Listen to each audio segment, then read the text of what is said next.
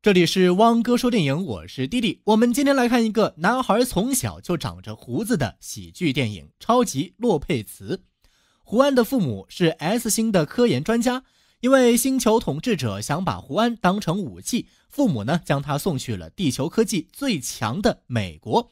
但中途胡安的飞船撞到卫星，拐了个弯，于是呢降落在了离美国几千公里以外的西班牙，正好被一对修车匠夫妻撞见。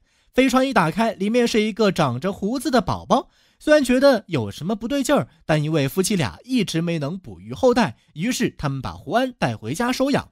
这边统治者为了抓回胡安，把自己的女儿白毛女派去了地球，但因为走错了方向，所以没能够找到胡安。就这样，胡安在修车匠家渐渐长大。除了异于常人的胡子之外，他还具备力大无穷、速度敏捷以及用意识控制物体等超能力。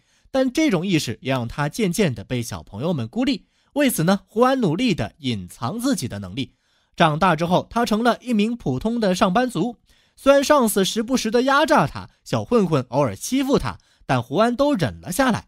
但直到一次，他在等地铁的时候，列车突然失控，他终于使出了自己的超能力。他快速地跑到失控的列车前方，用消防栓拦下了飞奔中的列车。这一切都被摄像头给拍了下来。白毛女也因此发现了他的踪迹。他利用胡安的超级听觉万里传音，让他来找自己。胡安顺着声音来到一栋科技大楼，他一去到那里就被机器人团团围住。胡安拼死从里面逃脱，却将自己的外套落在那里。白毛女从他的外套里找到一张名片，知道了他的软肋。原来呢，胡安有一个喜欢的女人，叫做路易莎。这边胡安逃出来之后，回到了乡下。在他的逼问之下，父母终于告诉了他真相。胡安打开当初载着他来到地球的飞船开关，一个人像立马显现出来。这个人就是他的亲生父亲。父亲让他长大之后回母星拯救他们。可现在的胡安还不会完全的使用超能力，所以他要先开发自己飞行的能力。为了符合他超能力者的身份，妈妈用飞船上的布料模仿超人电影，给他做了一身衣服，爬上家里的楼房向下一跃。呃，什么事情第一次都不会太顺利哈。路过的小孩嘲笑胡安，他恼火的比了个手势，没想到就这么飞了起来。这时呢，路易莎来了，但是她的行为十分奇怪。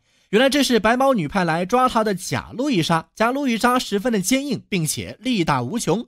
胡安并不是他的对手，好在一旁的妈妈分散了他的注意力，胡安才用一根火腿敲断了他的脑袋。胡安意识到路易莎有危险，于是立马赶去带路易莎离开，但路易莎根本不相信他说的。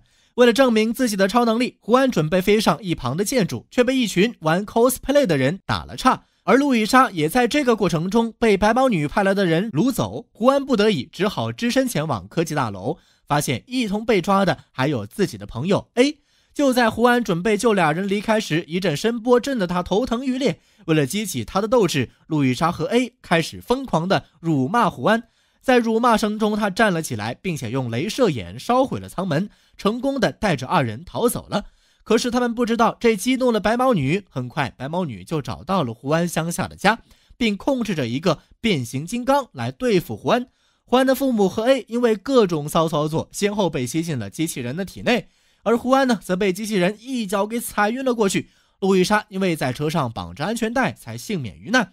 在他的呼唤之下，胡安终于清醒过来。胡安用自己可以呼出冷气的超能力，将机器人冻住，然后把他推进了游泳池里。这一下，他终于打败了白毛女。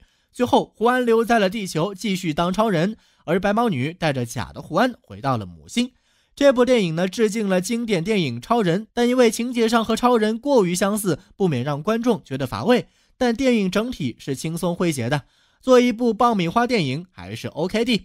好了，今天的电影就看到这里，咱们下期见。喜欢就关注、点赞、转发、留言哦。